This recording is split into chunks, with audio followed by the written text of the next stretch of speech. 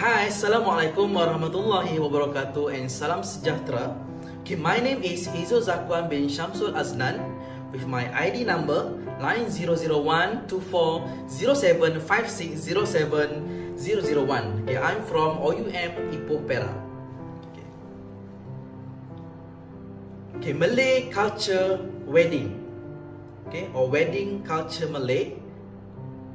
Okay, so I will talk about a culture that's involved or conceived of a Malay that is wedding ceremony. Okay, okay that uh, the Malay wedding consists of three stages. That is, uh, first is a pre-wedding. Okay, what is a pre-wedding? Okay, pre-wedding in, involve a meeting between the brides and groom's parents to determine determine the dowry that is to given to the bride.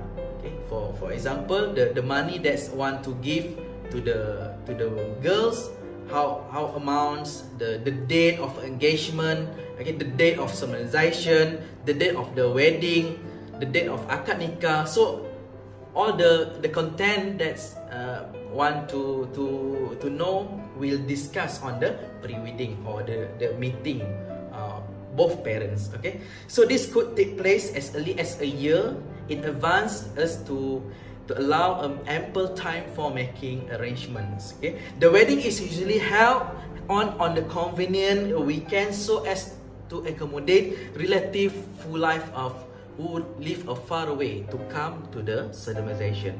Okay, so akad nikah or marriage. Okay, so akad nikah or marriage vow is the focus of a Malay wedding and take place.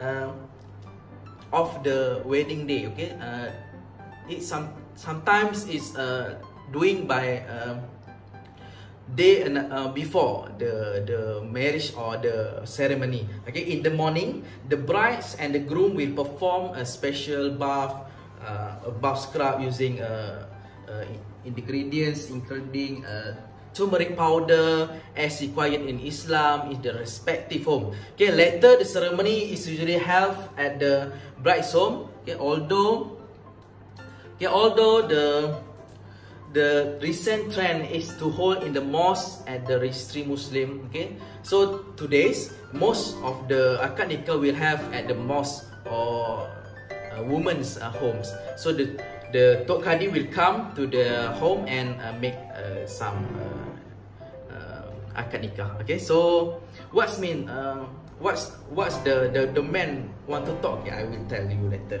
Okay, so the the solemnization ceremony is normally presided by a Tok Kadi. Okay, what is a Tok Kadi?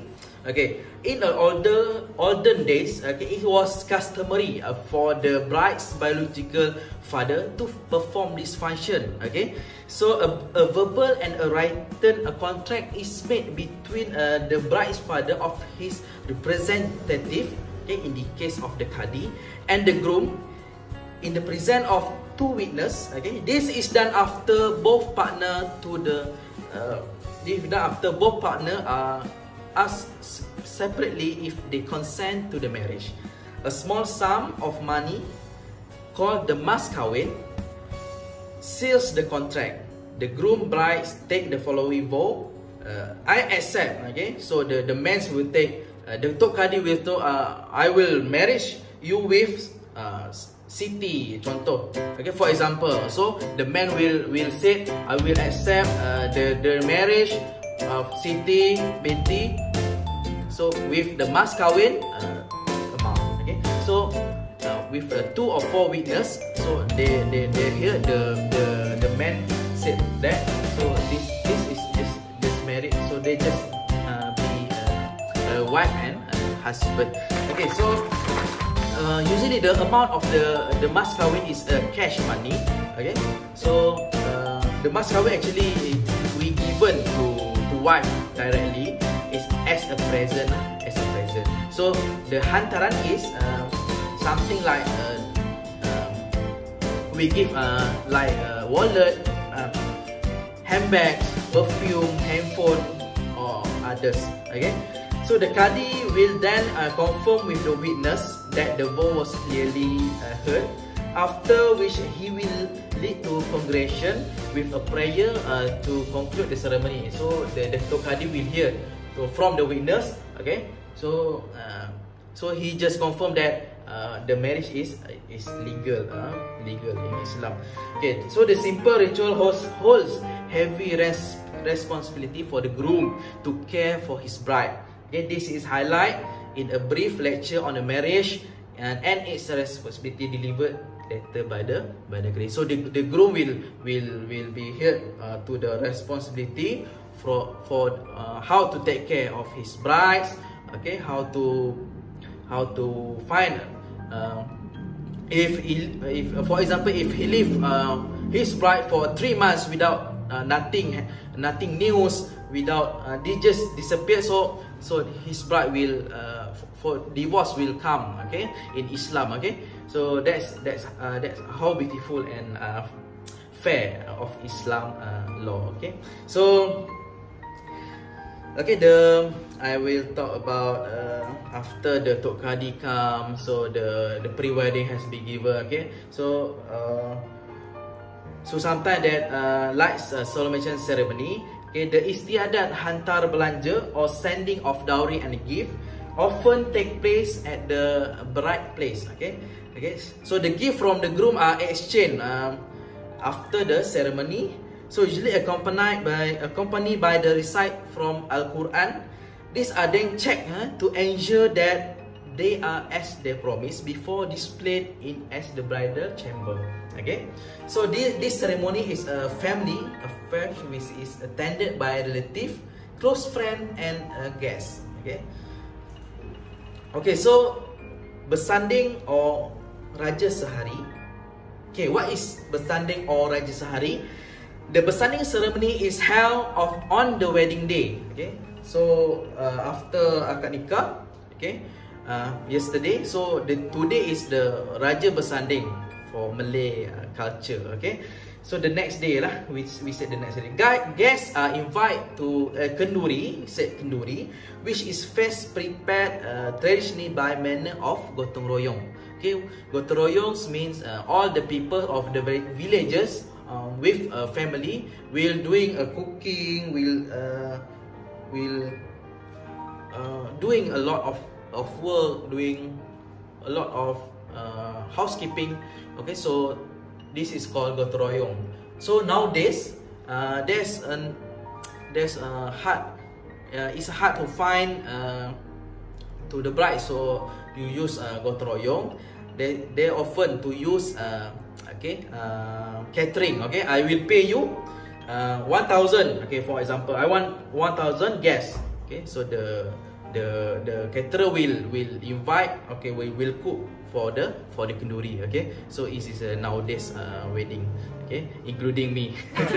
Okay so um, the feast is often very colorful and uh, beautiful an informal affair, a further enhance of the colorful uh, costume worn by the guests themselves. So that's time. That's the time that the brides and the and grooms for to to to wear a, a handsome and a beautiful uh, clothes uh, with uh, thousand of uh, people. Uh, king, okay, king, king by a day, eh, Raja Sehari, okay, we call Raja Sehari. So the uh, a Malay band group. Uh, sometimes the Malay band group come to to to to up up the surrounding for being uh, happening. Okay, so that's an example. Okay, for the ni.